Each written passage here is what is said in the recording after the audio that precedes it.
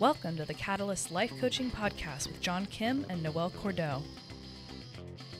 If you're inspired to begin your own life coaching practice or just want to learn a little bit more about what it's all about, visit jrni.co. That's J R N I.co for more information.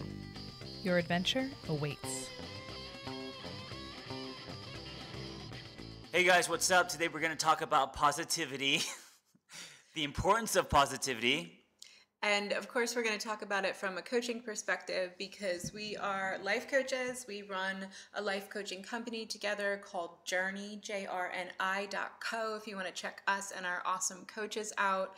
Um, and we are here to give you our weekly tips and tools of the trade how to coach yourself, how to coach others, how to be well. Yeah, and uh, various topics, um, everything from relationships to, to just on and on and on. So, Yeah.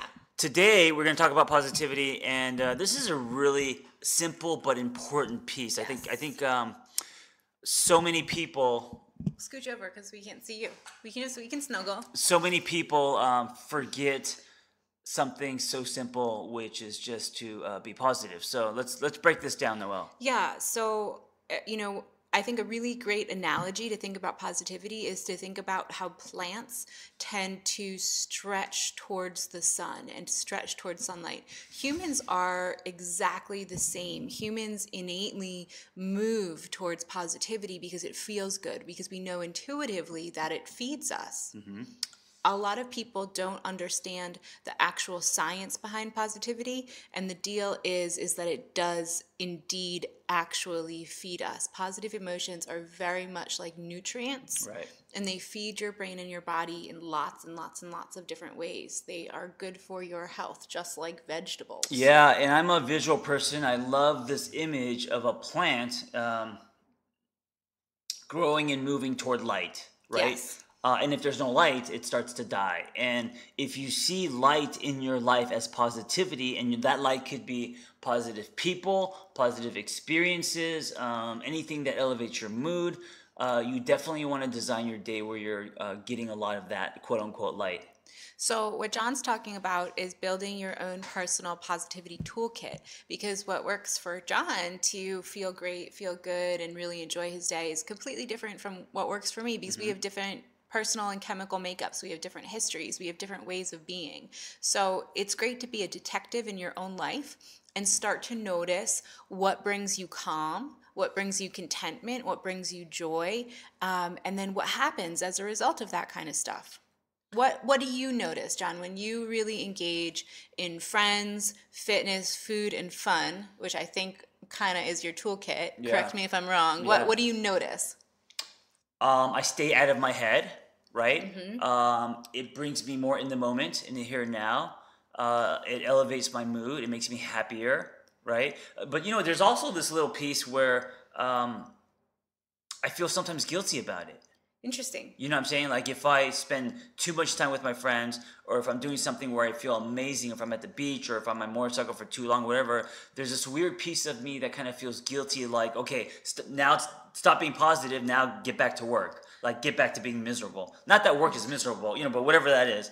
Um, and I- and you know, I think a lot of people can relate to um, not allowing themselves to to experience positivity because sometimes they feel that that's not productive that's um, they're not you know they're they're fooling around that's extra and there there could be uh you know it could be lined with guilt or even shame I think that comes from a couple of different places. Like we talked last week about the three pillars of flourishing, which are achievement, pushing your brain and body to its max, simple contentment and serenity, and then hedonics. And because of our Western history of a puritanical society, hedonics gets a bad rap. That's pleasure.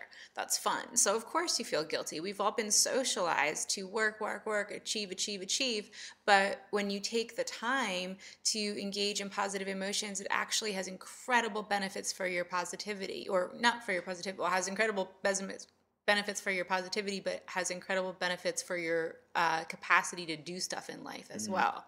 So, for example, when you experience contentment and serenity and joy, you naturally want to go out and do more things. Mm. When you experience fear and anger, the list of things that you want to do gets really short. Right. So when you uh, when you have fear and anger, you kind of create your own prison, right? You want to Mm-hmm. isolate. You want to. You have, you have no energy to do anything. Mm-hmm. Right. And doubt goes in there too. Yeah. You know, if you're sitting there living in doubt, living in fear, living in anger, um, you, you get literally stuck and sometimes physically stuck. You don't want to leave the house. You know, you don't want to engage in things. You don't want to produce things. Um, another really cool thing is that positive emotions actually expand your brain and they help you come up with new ideas moving forward. Mm. Oh, I like that. Have you ever experienced that? Like, when do you get your best ideas? Sure. When you're positive and happy, not when you're um, negative and and discouraged and down. Yeah. Yeah, absolutely. So, there's this concept that I really love um, about thinking about positive emotions as an investment. Mm. because they're like vegetables you can't have just one so if you're if you're consistently investing in yourself by inducing positive emotions you're consistently giving yourself a broadened playing field for coming up with new ideas for living and being in different ways and for getting physically out into the world more because you just happen to feel better So, you guys, you have to make it a non negotiable that you're going to sprinkle positivity or design it into your day. Um, positivity doesn't just fall out of the sky every day. Um, I mean, actually, it does. I mean, it's all around us, but it's it, it's our um, intentions, our lenses, our perspective, and our chasing it uh, that gives it to us. Um, if not, it's just kind of there out there, but we don't experience it. We don't get to, you know, digest our posit- the positivity. So here's another cool thing positive emotions help you uh, expand your social resources.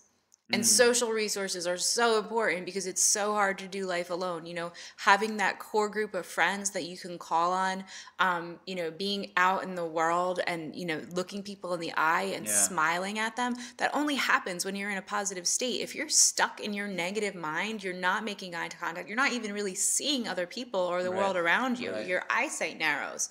So, what do you notice about humans who are naturally positive, or how do you think that it, it causes you to engage differently with them in the world? Um, here's what I notice. So when I see someone who is uh, extremely positive, and you know what, not in a fake way, genuinely a positive, happy, um, growth mindset person, a it makes me check myself because I'm like, wow, I want to be like that, right? I want to have what she's having, and then it makes me a, it makes me gravitate toward them, right? And on the flip side, we all know this other type of person. I used to be like this, negative, down.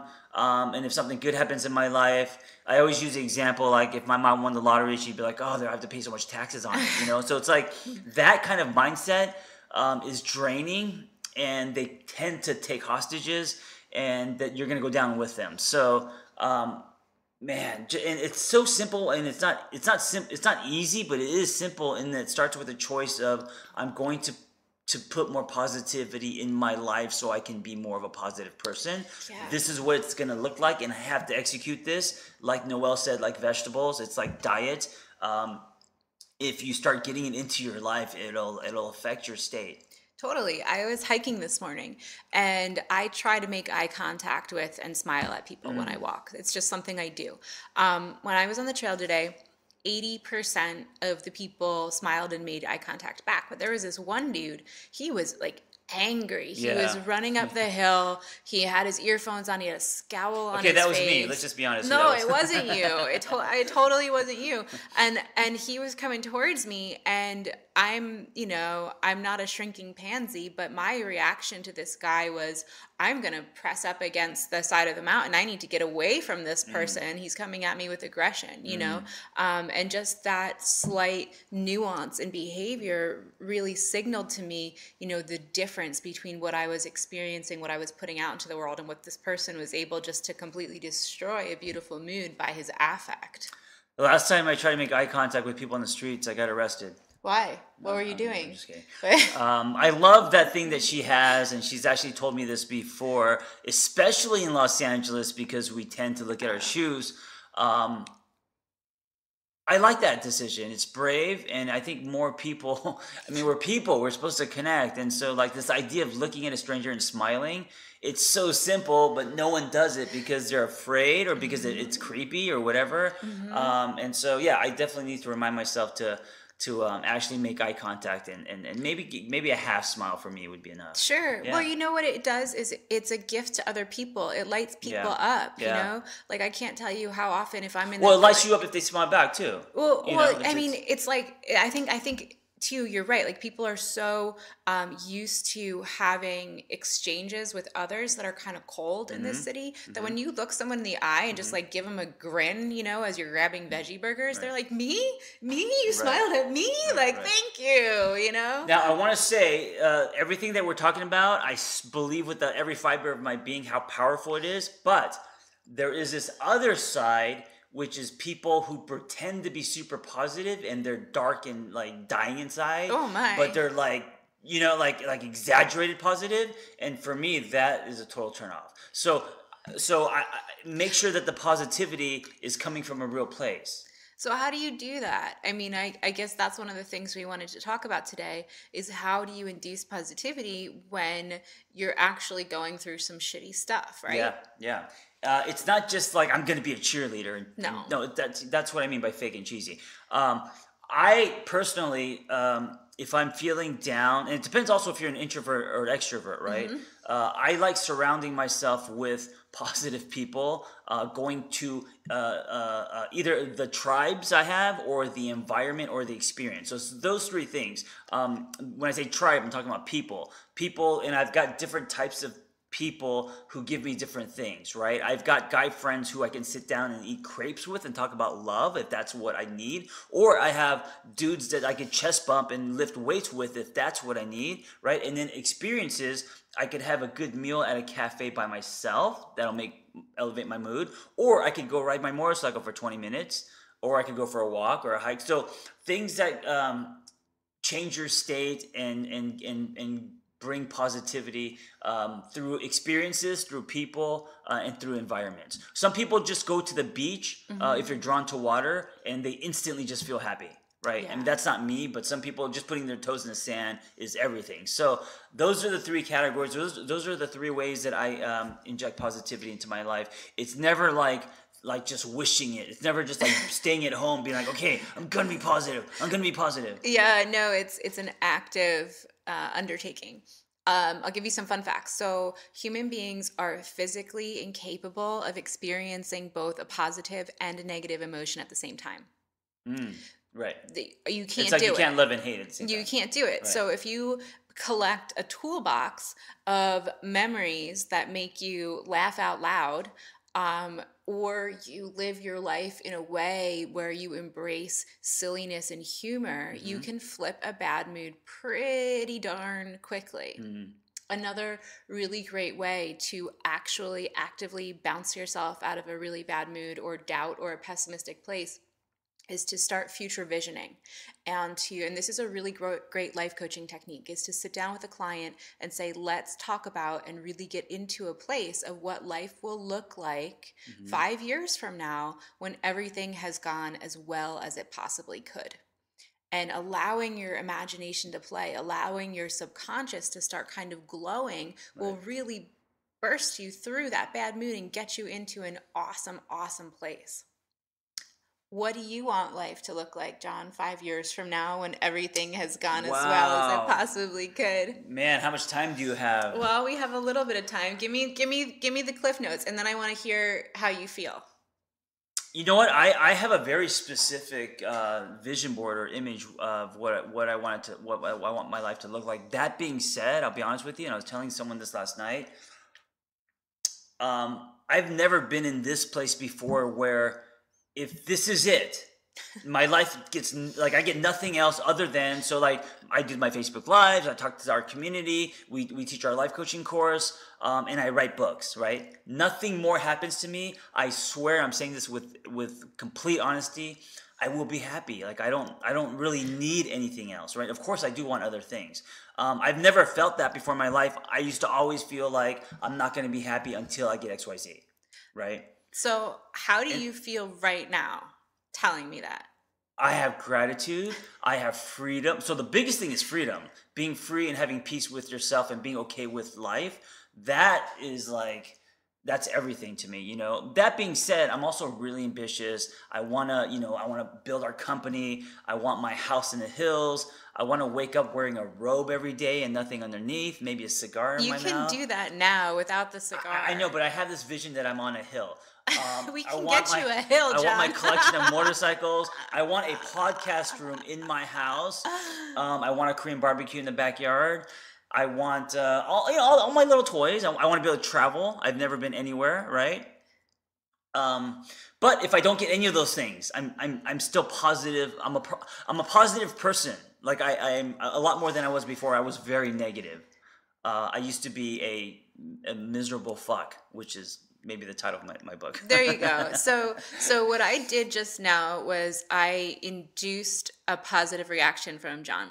And it was through a process called capitalization. Capitalization is when you share happiness and good news with other people who are around you. So I got this endorphin burst from John just now because he mm. I was grinning. I was Right. grinning hearing his happiness hearing his future vision and it felt so good and so we had an actual Exchange. like energetic exchange Sure. between us and now we're both on this little endorphin high and you can do that with your friends and family and people that you love when was the last time you sat down with somebody and said tell me all the good things you know tell me everything that's going Right. well in your life. Tell me your dreams. Tell me where you want to go. You know let's dream together. You know what? It reminds me of like when you sit at a restaurant with some friends, and it's a, a restaurant you guys have been always wanting to go to, and you're looking at the menu and you're deciding what you want to eat, and there's like this moment of excitement. It's like, okay, you get that, I'll get this, we'll share this, and you're and all this all, like energy is going, and you're super excited and happy about tasting the food that's about to come, and it's kind of like a, mm-hmm. you know, it's kind of like that, right? Yeah, a hundred percent. And and you know, knowing that you have the pos like the